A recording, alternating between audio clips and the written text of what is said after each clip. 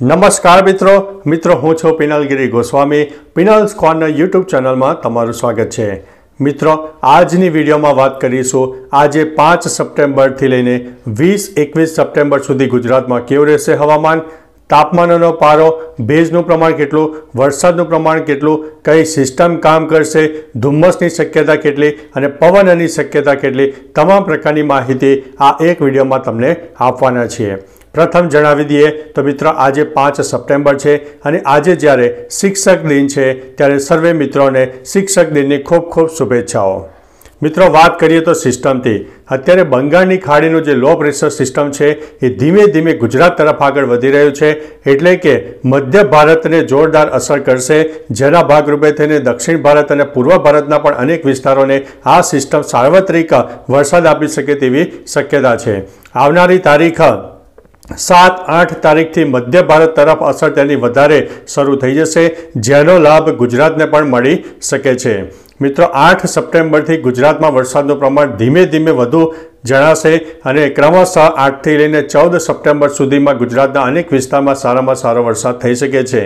આ જે સિસ્ટમ ધીમે ધીમે આગળ વધશે તેમ દક્ષિણ ગુજરાત મધ્ય ગુજરાત, ઉત્તર ગુજરાતના પૂર્વ તરફના વિસ્તારો, સૌરાષ્ટ્રના દક્ષિણ પટ્ટા ઉપરાંત પૂર્વ તરફના વિસ્તારોમાં ધીમે ધીમે શરૂઆત થશે અને આગામી ચૌદ તારીખ સુધીમાં તો કચ્છ સુધી વરસાદનું પ્રમાણ જોવા મળી શકે છે.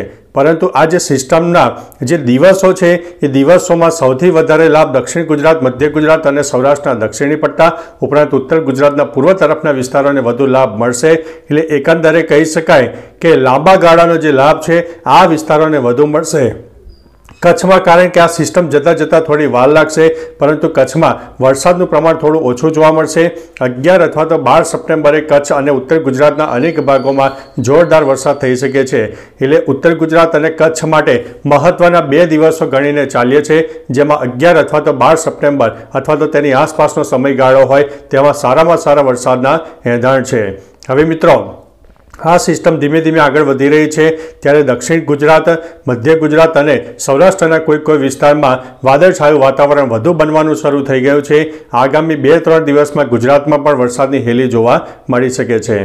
હવે પવનની વાત કરીએ તો પવનનું પ્રમાણ અત્યારે ચોક્કસથી ગુજરાતમાં ઓછું છે, પરંતુ તારીખ આઠ સપ્ટેમ્બરથી ગુજરાતમાં એક વાવાઝોડા જેવો વરસાદ મળે તેવી પણ શક્યતા છે. પવન સાથે વરસાદ મળશે. પવનનું પ્રમાણ ગુજરાતના અનેક ભાગોમાં ચાલીસથી લઈને પિસ્તાલીસ કિલોમીટર પ્રતિ કલાકની ઝડપે પવન ફૂંકાઈ શકે છે અને જોડે જોડે વરસાદ પણ મળશે. એટલે આપણને જાણે કે તોફાની વરસાદ આવ્યો હોય તેવી પણ એક અહેસાસ થશે, અનુભૂતિ થશે.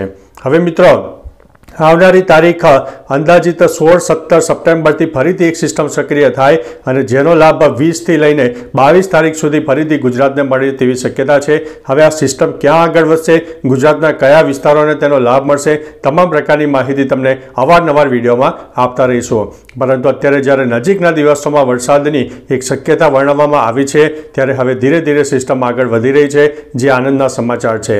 તાપમાનની વાત કરીએ તો ગુજરાતના અનેક વિસ્તારમાં આજે તાપ તડકો ઉઘા નીકળે તેવી શક્યતા છે. મહત્તમ તાપમાન પાંત્રીસ ડિગ્રી સુધી પણ જઈ શકે તેવી શક્યતા છે. એટલે ભારે બફારાનો અહેસાસ થશે, પરંતુ આગામી ત્રણ ચાર દિવસમાં આપણને તેમાં પણ રાહત મળનારી છે.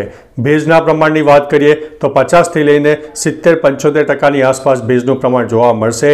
ધુમ્મસની વાત કરીએ તો પર્વતીય વિસ્તારોમાં સામાન્ય ધુમ્મસની શક્યતા પણ રહેલી છે.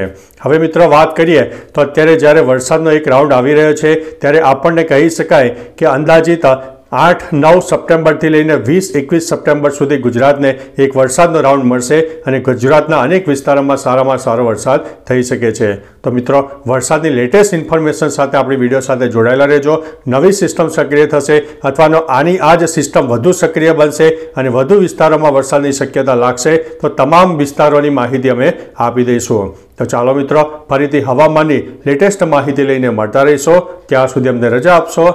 નમસ્તે.